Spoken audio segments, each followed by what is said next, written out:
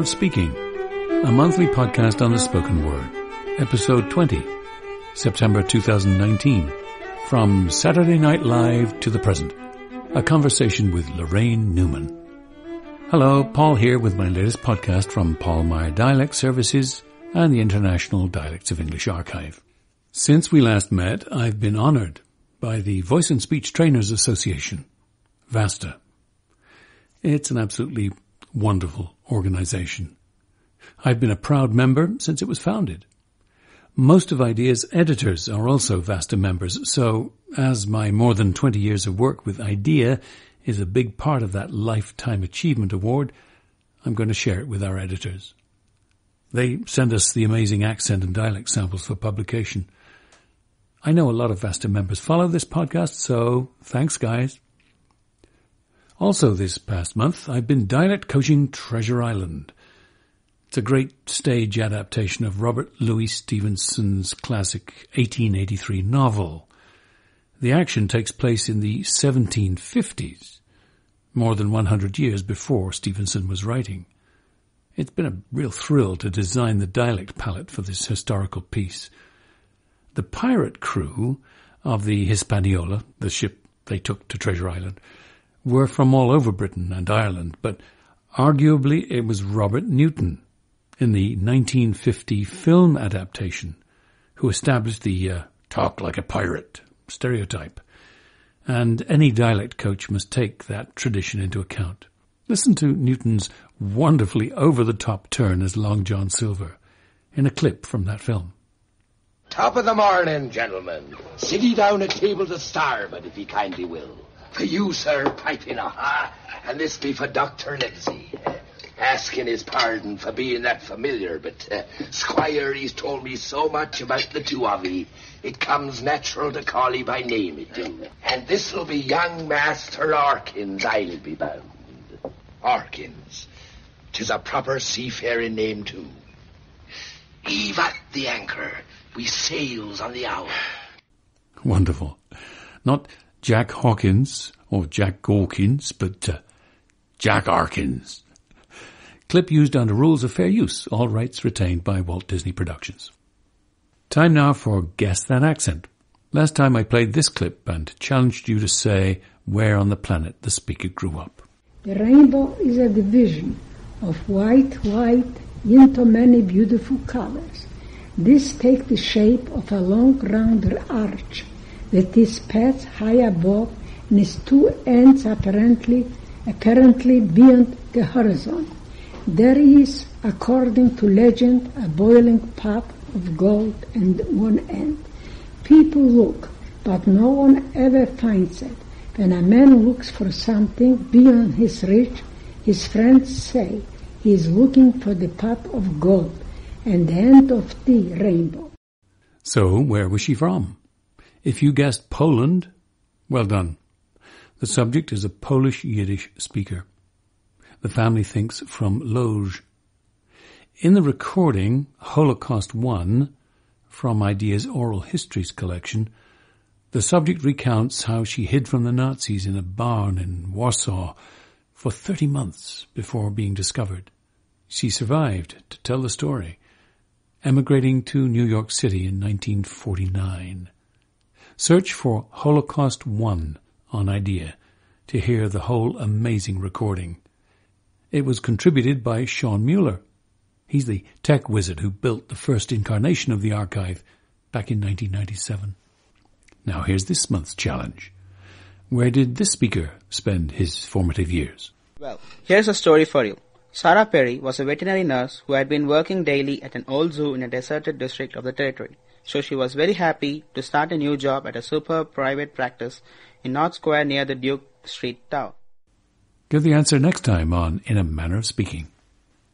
My guest this month is Laraine Newman, a founding cast member of Saturday Night Live and a member of the company for five years.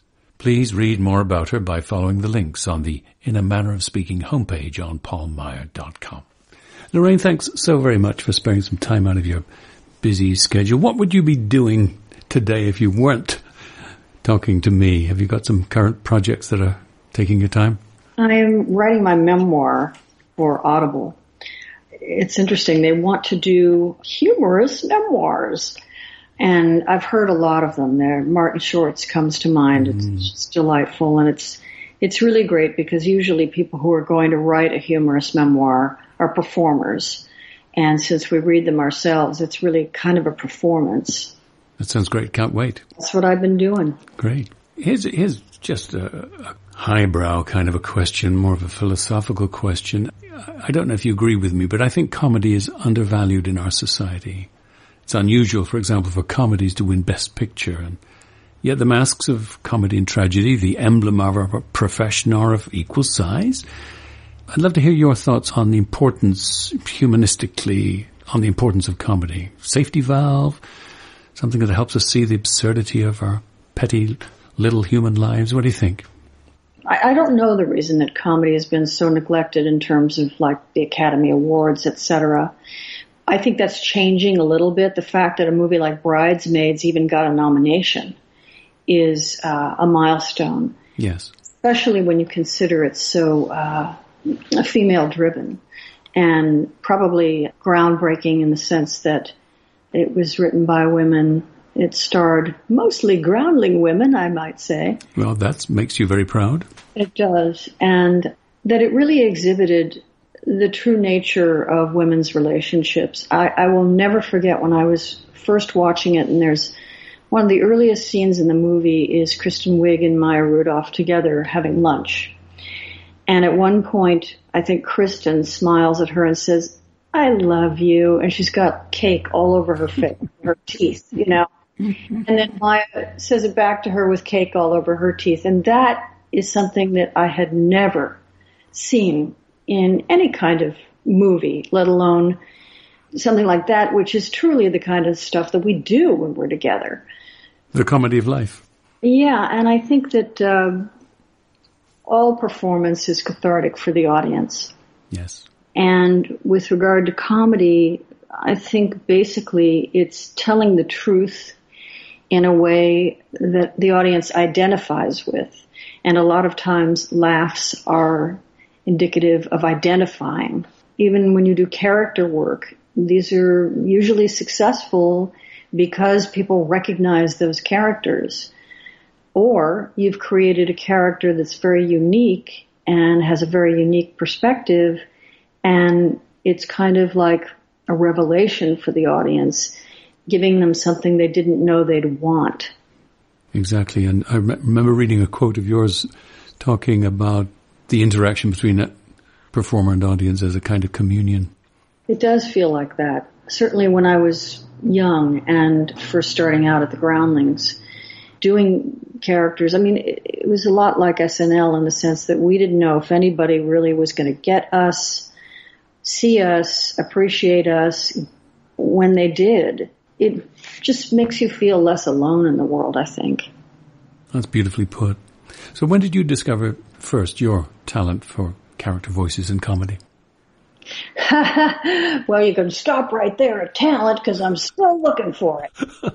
but I think that I can pinpoint when I first appreciated and fell in love with and had comedy become my passion was when I was very young. It was something that was valued in my house to begin with. Uh-huh. But I was absolutely a television baby. I think the first thing that really inspired me was a show called Our Miss Brooks. Hmm. And it starred an actress named Eve Arden. And it was very ahead of its time in the sense that, you know, you had a female protagonist that did not suffer fools. And for the most part, the kind of characters of women you saw were Gracie Allen, you know, a show called I Married Joan about a, a ditzy wife or, you know, I Love Lucy. Mm-hmm. All these women are just kind of, well, silly, somewhat dismissed. Mm-hmm. But Eve Arden, her character was an an English teacher, and the people around her were kind of the people that she had to deal with. And she even did takes to camera, which I think George Burns was the only other person that was doing that at the time. God, I sound old. Anyway, uh, just, I, I just, I'm older. I wonder. One of the things I loved about Eve Arden was her style of delivery. It was very dry, very sly, and, you know, a little bit passive aggressive. That to me was really, really funny. And did you imitate her? Did you impersonate her? What, what's the deal? I don't know. I, I think I'm almost like absorbed her. Uh, That there's a lot of my style that is just integrated into me. Yes. Not, I don't necessarily do an impression of Eve Arden, uh-huh. but her, her physical movements, her takes, her cadence, emphasis on certain words, I definitely feel I've just kind of metabolized. I understand. Comedy was valued in your house, in your household, in your family. Yeah. Did that come from the from the Jewish experience? Well, that's a given. Uh, I, I don't know. Yeah, well, I think that's been characterized and quite accurately that uh, Jews. I had heard this once that um, in the tradition of the Hasidic Jew, a child's first taste of honey is on a page of a book, so that they learn to associate learning with sweetness mm-hmm. you know, since we were basically powerless and rendered powerless in so many ways, using our intellect was probably one of the things that we used to survive and flourish, dare I say. Yes. But I think that when you're any oppressed people appreciate irony a lot more than say a demographic that hasn't been limited and thwarted in their efforts to strive. Did you ever attend the uh, Yiddish theater in New York? No, I am a California Jew, which is pretty much a Presbyterian. We are very plain wrap. My mother was an atheist. My dad was born in Los Angeles, but he was raised in Arizona and his family were cattle merchants. So they were basically cowboys. We didn't belong to any temple. It was just kind of anything goes, very informal in my house. I remember um, when kids were going to camp, there was a the Jewish camp was Hillel or Roosevelt, and we were sent to Camp Trinity. so that's the picture. Well, jumping ahead a few years, I, I, I have uh, discovered that uh, you wanted to study acting in England and applied to several of the schools that I once taught at, uh, Royal Academy of Dramatic Art, RADA, and Oh my goodness! LAMDA, and, but, and Bristol Old Vic, I believe, is Yes. listed as one of the ones you aspired to. Yes, they they did preliminary auditions, and you probably read this. They did preliminary auditions where they see about 300 people, and they take 80 out of that group, and then the final. They took 20 out of the 80 group, and I never made the 20 group. But I was there. I mean, I was in England doing these final auditions. Amazing. So you took yourself off to Marcel Marceau, of all people, a speechless Laraine Newman. Yeah, well, I love the idea of getting laughs without words. And I had already studied improv and mime when I was still living in LA as a teenager. So when I got there, I actually had a lot more technique than most of the students there. Neat. So uh, you were an original SNL cast member from 75 to 1980, before it was even called Saturday Night Live, right? But NBC's Saturday Night, I think. Yes, until, well, I think in halfway through either the first year or definitely the second year, we were able to call ourselves Saturday Night Live. Yeah.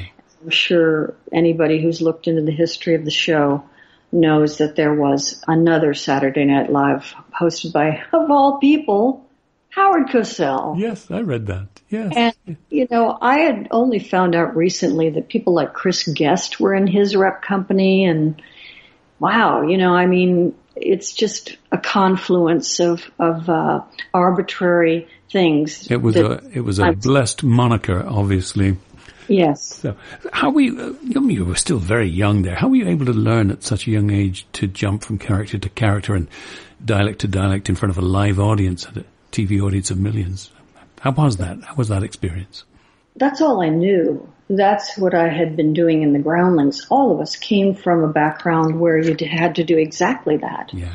Whether it's Second City or Jane was from the Proposition in Boston, you come from a sketch show where you're you finish the sketch, the lights go out, you run off stage, you change your costume. In our case, the groundlings, because most other companies didn't really use wigs and costumes like we did. You come back on in the dark, hit your mark, and the lights go up, and you go. And that's exactly what SNL was. Yeah, and That- a company that's running to this day. Yeah, Wonderful. yeah. The Groundlings are still, you know, alive and well in the farm team for SNL. You've said that your favorite character was uh, Lina Wertmuller. How, how, how did that come about, and could, and could we hear a little Lina? Well, it was really she is Swiss, but I, for some reason, chose to do a Quebecois accent, and I don't know why.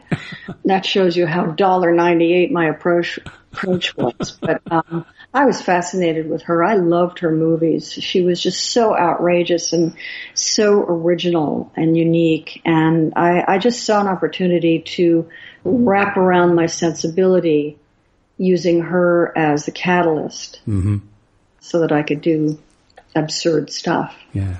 I'd like to talk about the differences between live acting and voiceover acting, uh, both things you do superbly well, especially when it comes to voice control and, and dialects. Is, uh, what's the differences for you between doing it live and doing it uh, pre-recorded? I can only speak from my own experience.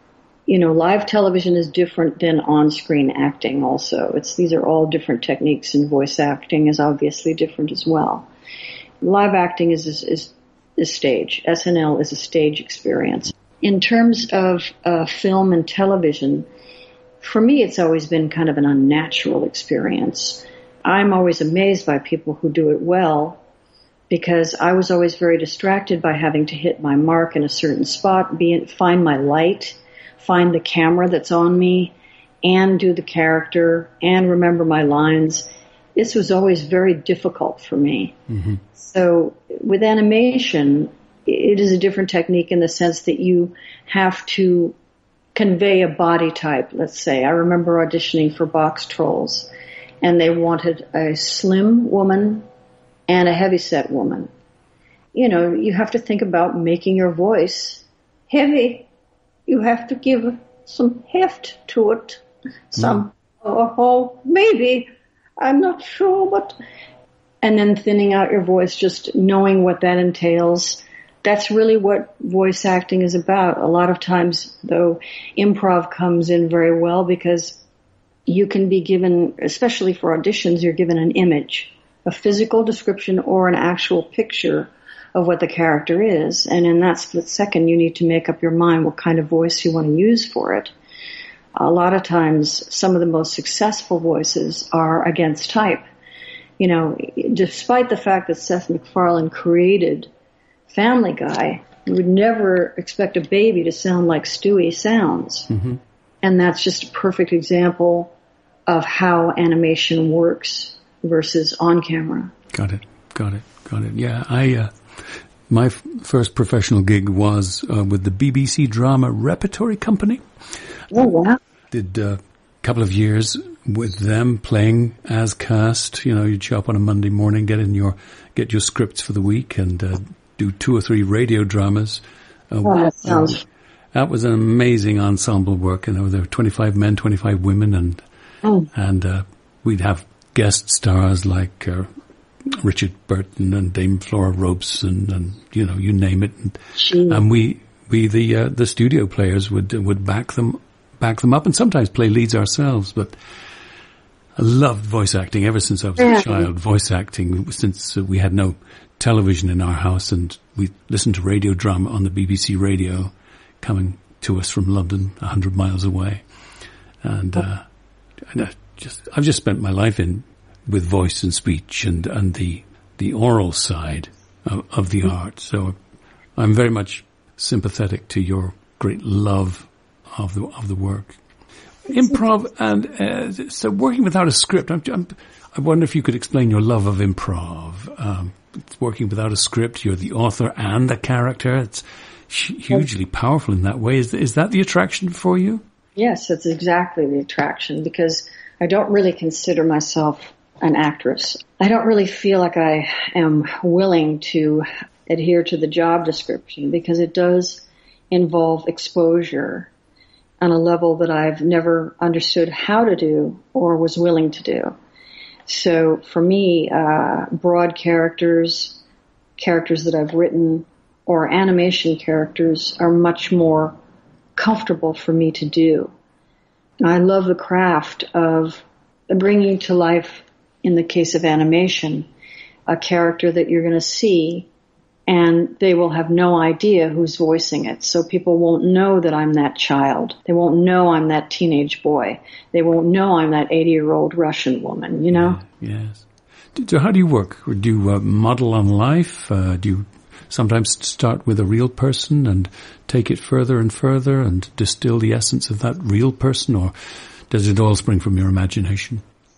It's both a lot of the characters I came to the Groundlings and eventually to SNL with were people that I had grown up observing, like the Valley Girl. Yes. You know, I had a friend named Sybil who was actually from San Francisco, but and she she would in in writing it's T S S K that sound, and would do that before ever saying anything, which I thought was so interesting. And noticed that people from the valley and I think it's also because of, uh, you know, the, the Okies, the people from Oklahoma and the Dust Bowl migrating here. Yes. The Spanish population, which are basically land grant families and the people that settled California. I think all of those English speaking dialects melted into one and you can point to my version of Valley Girl, which would like her endings, her INGs and their contractions of couldn't would be couldn't or wouldn't would be wouldn't, and shouldn't would be shouldn't, and ings I'm going, I'm going down there, you know, yes. like that. I I was always fascinated how uh, by that dialect, and it really, you know, it was amazing to me how much it caught on and how people did various versions of it because they recognized it. I thought a lot about the Valley Girl dialect mm-hmm. because again, it, I did the original one. I mean, this is not to brag. This is merely to say that my, my, not to brag, like, thank you world, you're welcome. um, it's just that it's, it is different from the one that is commonly known because this was the one from the 1960s and 70s when I first started hearing it. Yes. And we have like a lot of swallowed L's and California. and, it also kind of bleeds into a surfer speak too, but that's a whole other thing because it is not, surfer speak is not quite valley. But a, lot of um, the valley stuff is really a loose jaw too. Like, uh, you know, you're constantly kind of just, your jaw is really loose and stuff. And then you have kind of that interrogative lilt and stuff. Yes, yes. No, you're, you're speaking to the value of the craft, exactly. So, which leads me on to another idea. You know, we have these two ends of the performance spectrum. Perhaps actors at one end and, and comedian is at the other.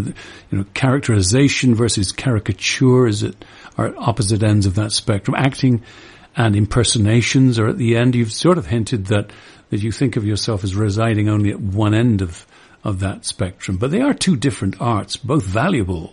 Um, yes. And you I, I, would have to contradict you and say you you do both brilliantly. But what would you say about the two different ends of that performance spectrum uh, and their value to us? We're talking about just dramatic acting versus comedy. Is that what you're asking? Well, I mean, acting. I mean, we can tell when someone has absorbed a character and is wearing a character um, like a cloak and disappears inside it, and you really if they, if it's done well, you cannot really tell that they're acting. You know, they, you think that's the person. Mm-hmm. But, but at the other end of the spectrum, it, we always know there's a kind of a wink and a nod to the audience that, that the, uh, that we're actually wearing a disguise and we can sort of see through the disguise. So it's, uh, two different art forms, I would maintain. Mm-hmm. Well, I guess one, uh, you know, the one that you can see through is usually comedy. Yes. And the one that you can't is is uh, dramatic. Yeah, yeah. I've been fascinated by, you know, how how one could take, you know, could take a Scottish accent and uh, in a heartbeat you can flip it from acting to impersonation. You know, I, I could do, um, uh, you know, a Billy Connolly. Um, and, and absolutely skewer the guy. You know, I was I was walking down the street and I saw a dog. And, you know, but then you but you can then you can take the same script and uh, you can. I was walking down the street and I, you could see a dog there, and I was this woman with a with a dog, and suddenly I'm not skewering the accent. I'm not not mm-hmm. lampooning the Glaswegian, mm-hmm. but but it, I, uh, giving a tribute to it in a sense, or taking it on as a I don't know in a different spirit. I'm fascinated by the Scottish dialect, and uh, I have a friend who is a pretty well-known voice actor who was also on Reno 911 named Carlos Alazraqui. And he's from Northern California and does one of the best Scottish accents I've ever heard. And he knew how much I love the dialect, so he gave me, and this is how long ago this is, he gave me tapes of Rab Nesbitt. I don't know if you remember that show, but the dialect. I don't. It's a comedy show, and basically the the main characters are drunk, but his dialect was so thick that it had subtitles for the Scottish people too. it's just amazing. And I've always noticed that uh, frequently Scottish actors do very good Russian dialects, or at least they can approximate it. Like uh, David McCallum, I didn't realize he was Scottish. Interesting but, how now you mentioned Scottish and uh, Russian in the same breath. They do share some signature sounds. The mm-hmm. the trilled R and the and the and the dark L. You're, mm-hmm. you're looking lovely today, my dear. You're, yeah. You're looking lovely today, my dear. You know, they share the same sounds, but two different. They're in the family. Yeah, they're in the same family. Yeah. So you you and I first uh, met through our mutual interest in accents and dialects. Tell me what's your approach to to doing an accent, to acquiring one, to to becoming skillful in it. Uh, there a technique for you, um, or, or is it simple mimicry? It's simple mimicry, although there is a dialect coach out in here, Los Angeles, who who teaches how to write it phonetically. And I also learned a lot from your book and the recordings. For instance, if you wanted to say the word world with a Scottish accent, hmm. uh, you would say world. Yes. And it's written out that way so that you can actually just see a, a language code to adhere to. But also, I mean, growing up in LA, I grew up in Westwood, which is right near, well, it's where UCLA is. So we had people from all over the world in our neighborhood. Yes. My best friend, Vicky Hartsock, was from West Virginia and her mama was always pregnant and her brother Robbie would leave toys on the floor all the time so that her mama would have to bend over and squash the baby. and uh, we went to uh, and you just you just absorbed that by osmosis right through your pores. Yeah, and you know, as an adult, a lot of my um, kids' friends' parents were South African, and they were Jewish South African, which is a different dialect. You know, they were like from Durban. I had an orthodontist who had taken some X-rays. he came after the X-rays and he say, he said to me, "I can see you take immaculate care of your teeth." And I never thought that. It became like a key for me. a little mnemonic. Yeah. Neat. Do you do you have a favorite accent? And do you have one that you're still working on? I'm still trying to, you know, I get hired to do a Scottish dialect. I know the flaws in it, so I will not be doing it here. um, I do get hired to do British and, and Scottish dialects and it, by Brits, which amazes me. But I know that it's still very flawed. But for fun, I'm still trying to work on that uh, South African accent because you know, I can hear myself going into uh, New Zealand. I can hear myself going into yes. us, and I know that I've gone off course. It's. Yeah, um, we, we, mentioned the similarity between Russian and Scottish, and uh, there's a huge resemblance between Cockney and Australian, as I explored in a previous podcast. I have so much trouble deciphering between Manchester and Yorkshire. Mm-hmm. There's so much from my ear similarity to it. But again, those dialects, I, I adore them, and I just wish that I. That's what happens is I can hear a London accent, I can hear a Cockney accent, I can hear a, a Northern Manchester, Liverpool accent. I can do them, but then I veer off course and I can hear something else coming in there. And so I, I can't say that I do them that well. Mm-hmm. If we were to think back decades to Sid Caesar's generation, all the comedians did accents. You, you, it seemed to yeah. me you could not be a comedian if you didn't do accents. But it's yeah, not, not so much anymore. Why do you think that is? Well, I'll tell you a Milton Berle story. When we were doing Saturday Night Live, he hosted. He uh, Lorne Michaels hated him so much that that show is not in anywhere to be found. Gilda and Jane and I were posing for a picture with Milton Berle, and he said, "Give me a little soft shoe," to all of us.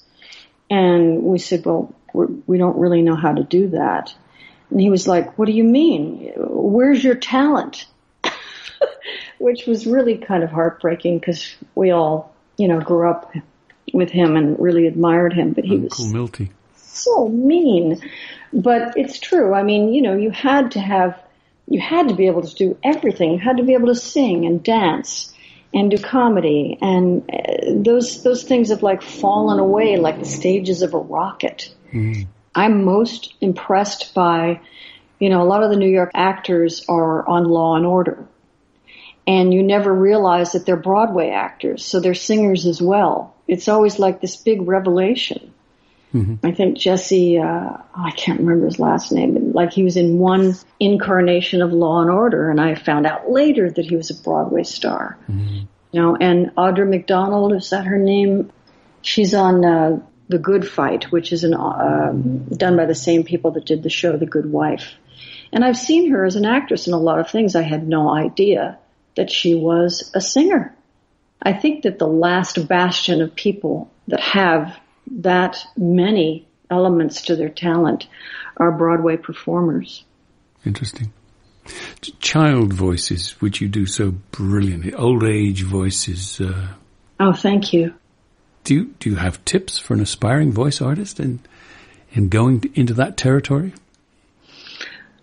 It's so funny. Billy West, he's uh, Ren and Stimpy. He's Futurama.